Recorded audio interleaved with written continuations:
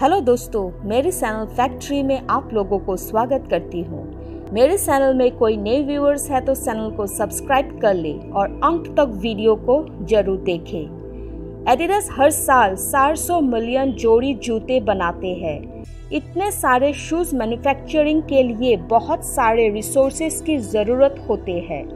लेकिन लगातार नई सामग्री बनाना एनवायरनमेंट के लिए अच्छे नहीं है।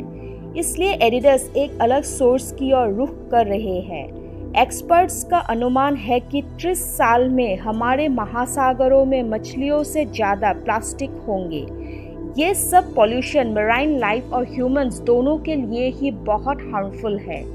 इसलिए एडिडस उस प्लास्टिक में से कुछ को ओशियंस में पहुँचने से पहले रोकने की कोशिश कर रहे हैं। 2015 में एडिडस ने ओशंस के लिए एनवायरमेंटल ऑर्गेनाइजेशन पार्ली के साथ भागीदारी से मराइन पोल्यूशन को स्पोर्ट्स वेयर में बदलने की। 2019 में एडिडस को 11 मिलियन पेयर शूज़ बनाने की उम्मीद थी। ये 2018 की तुलना में दुगने से अधिक है। ये सब प्लास्टिक पार्ले और उसके पार्टनर्स मालदीव्स जैसे कोस्टल एरिया से कलेक्ट करते हैं और सबको एडिडस प्रोसेसिंग प्लांट में भेज दिया जाता है। ये प्रोसेसिंग प्लांट वेस्ट प्लास्टिक्स को क्रश वॉश और वेस्ट को डिहाइड्रेट करते हैं और रह जाते हैं छोटे प्लास्टिक फ्लैक्स ये फ्लैक्स को हीटेड ड्राइड और ठंडा करके स्मॉल रेजेंस पैलेट्स में काट दिया जाता है। एडिडस इन पैलेट्स को मेल्ट करके फिलामेंट बनाते हैं, जिससे स्पन करके एक पॉलिस्टर यर्न फॉर्म करते हैं, जिससे ओशन प्लास्टिक बोलते हैं।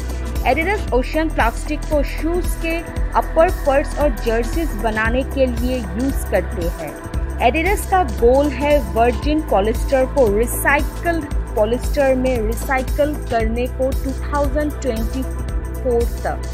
एडिडस एक 100 परसेंट रिसाइकलेबल शूज़ भी डेवलप कर रहे हैं, जिससे फ्यूचर क्राफ्ट लुक कहते हैं। ये शूज़ रिमेक कर सकते हैं, क्योंकि इससे रिटर्न करके एक ब्रांड न्यू पेयर बना सकते हैं, इससे तोड़ के। तो दोस्तों, आज के ये जानकारी कैसा लगा? कमेंट बॉक्स में कमेंट कर दीजिए और मेरे वीडियोस को लाइक शेयर करना मत भूलिए। और ऐसी ही नई वीडियो में जल्द ही मिलते हैं और तब तक के लिए stay safe and stay healthy